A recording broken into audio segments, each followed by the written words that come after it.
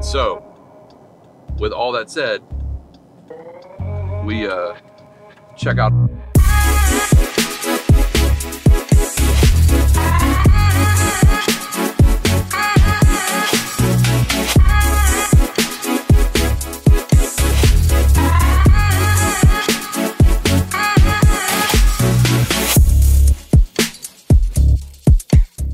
About to take a trip down memory lane. Right, Ash? kind of the journey to how we got to here at for Transformation Church. Maybe even meet a couple people uh, in the process. So.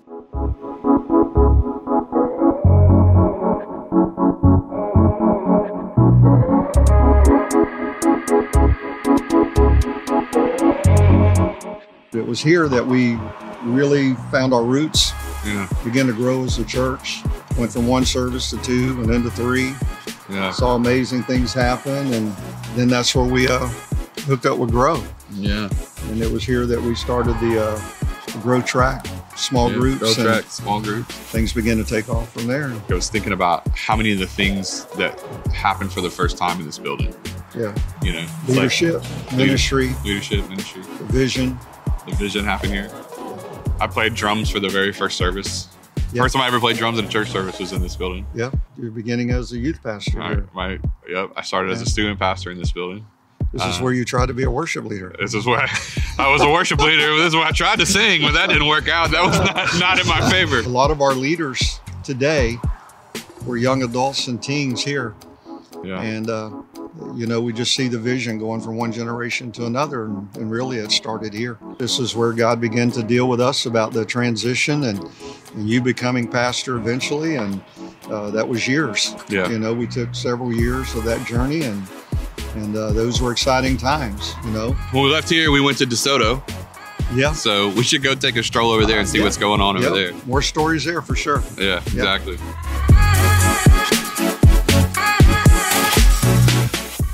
So we get a call from uh, from the church from Brownsville, and they tell us like, "Hey, come check this out. It's gonna be it's a great opportunity. You guys can move in." And so we go look at the building, and when we go look at the building, um, we're like, "Yeah, this this could work." And so we literally um, like start ma- setting plans in motion. I think what we totally underestimated was the amount of work it was to take to be in the building.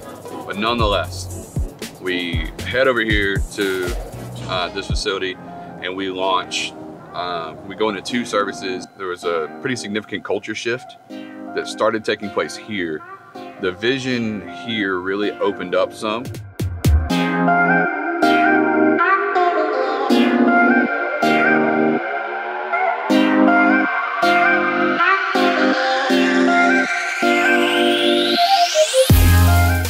This is an important stop in the journey because it was like this is where we transitioned like so this is where you know i took over as lead pastor you know and you moved into the founding pastor role and so even the story of how justin comes on the scene was was interesting was. to say the least It was. I had known you guys for a long time, and even people in your church, and we had done things together as churches up to this Yeah. point, and, and events and things like that.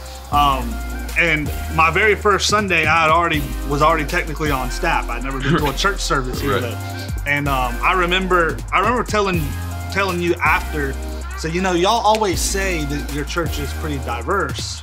And you just think, oh, that's cool. And I was I was shocked at how diverse it was yeah and not just racially, but even in the age. yeah getting the building ready a lot was of work, a lot of work A lot of work, and uh, we started the Haven here. Ah, yeah you know, that's true Uh, the Haven was birthed here. You know, our ministry for children with special needs and families, and building a healthy culture one of the big things i know is like god doesn't send healthy people to unhealthy environments Yeah. so we were always knew we were on the cusp of growth like on the catalyst of growth but we didn't quite know what it looked like and i think that it was god holding us back from a couple things um, getting us healthy because he was getting us ready for something that was coming we got a letter and a phone call you did got a letter and a phone call and was like hey you're you're out of this building in three months. And uh, i don't think any of us expected what was coming next. No, so it was cool. yeah, let's go check that one out then.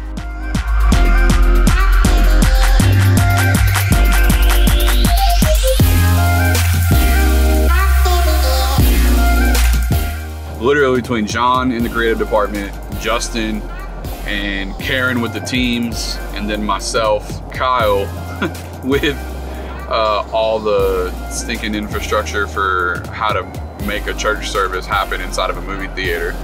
Uh, a lot of times churches take six months to pull that off, sometimes longer. Uh, we had like six weeks to get everything ready for uh, AMC, but it's been pretty crazy since we moved in here.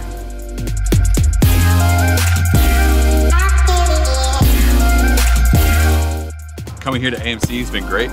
Um, we've seen like, I think it was over 150 people meet the Lord since we came in here. So Yeah. it's been crazy. What's been one of your favorite parts?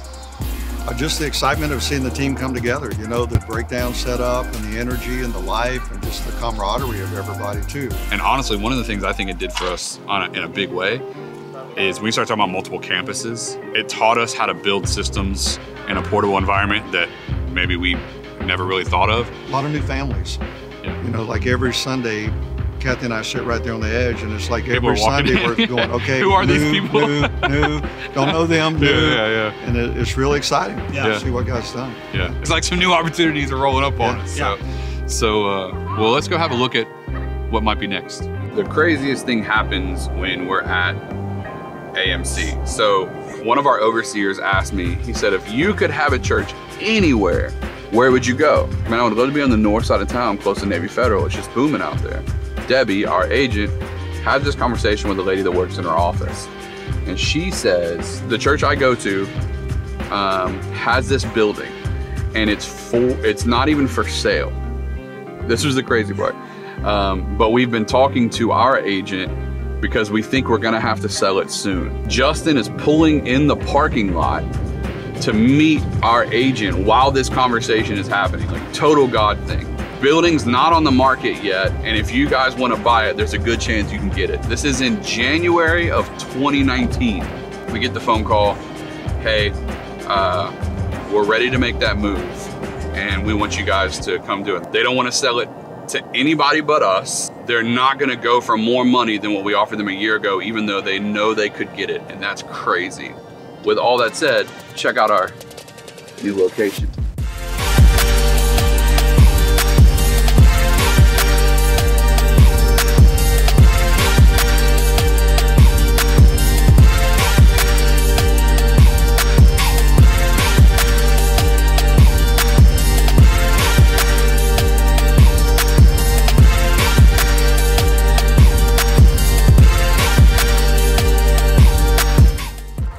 Yo, what's up, guys? Hey, come on in.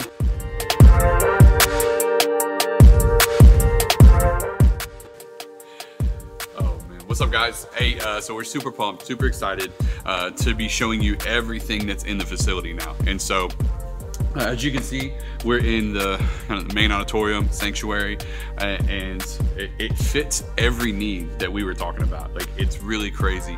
So what we're gonna do is just kind of take you guys through the facility for a few minutes, um, just kind of walk through, show you some of the things that are around, and uh, yeah. So welcome home.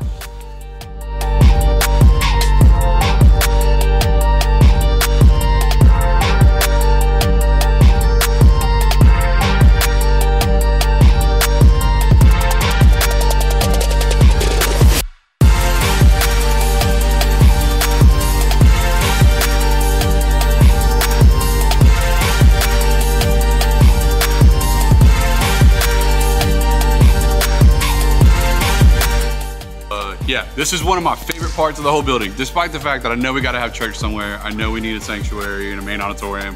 I know we need kids' classrooms. I know what we need all that. One of my favorite things is actually this spot right here, because uh, we're gonna need to do some renovations in here to get it up to uh, up to 2020.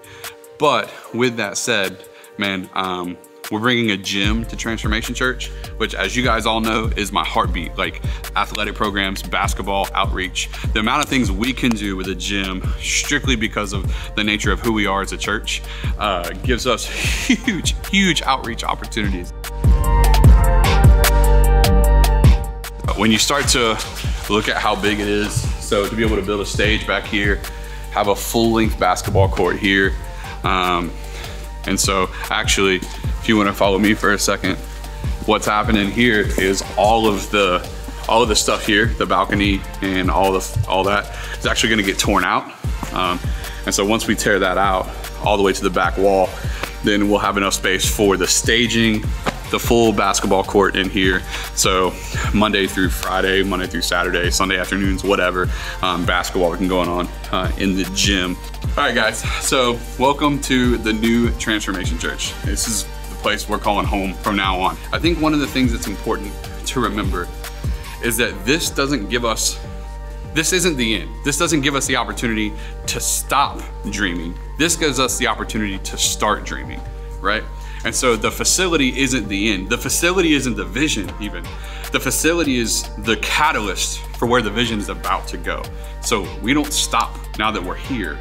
We start now that we're here. So everything that's happened in Transformation Church's journey, whether it was Fairfield, whether it was DeSoto, whether it was AMC, it was all steps in God's plan to get us here right now.